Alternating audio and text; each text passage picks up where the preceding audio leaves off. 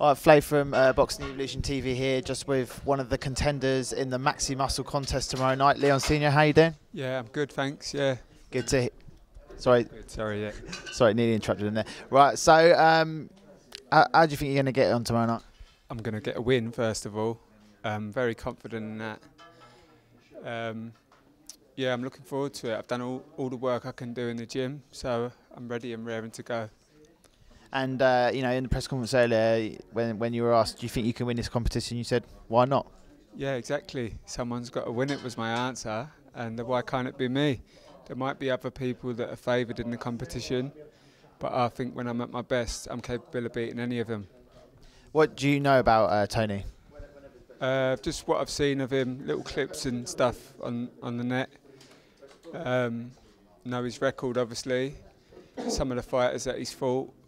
Um, just a little bit about him, enough that I need to know. And uh, w- once you have, you know, theoretically disposed of him, who, who, who do you reckon will be the, the the next one? I can't, I can't really say it's tough, but whoever it is, it is, and that's that's the way you've got to think about it as a boxer. You can't be lining people up mentally ahead for the future fights. You just can't. You just have to take one at a time and see who you've got. And when, once we know who that is, then we'll work on a plan for them.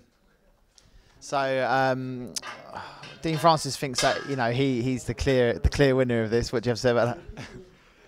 Uh, you know, peop some people have got that way about them. They're going to talk the hype, and you know, as we've seen with many boxers over the years, you get your real brash, go forward. Uh, they've got nothing to hide in their locker. They'll just tell you everything as it is, and that's that's the way Dean's coming across there. I don't know whether that's sort of a, um, a thing to give him a bit of edge, like to the way he builds up to competition or whatever. I don't know, but that's that's just uh, what he wants to do, what what he thinks.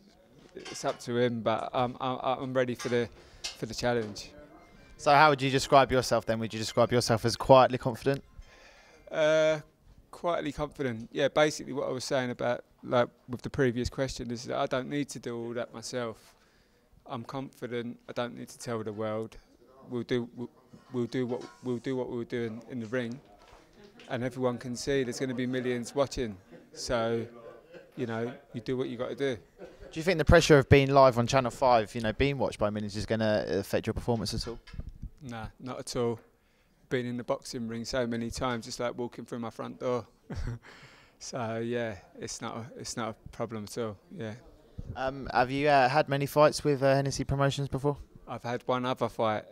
This will be my second in this competition. Yeah, so Do you see this as a good platform for furthering your pro boxing career? Then? definitely, yeah, it's perfect opportunity.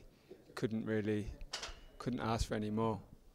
And where do you see your career going after this? Suppose that suppose you win the, the championship. Let's assume you're going to. What, what what's next? the the sky's the limit, and then we'll have to sit down with a manager and and talk to promoters and stuff. But as I said, it's one fight at a time, and you can't really look you can't look three fights ahead to winning the tournament. That's just chaos, really. But you just do one fight at a time and see how we go. But I'm I'm confident, yeah.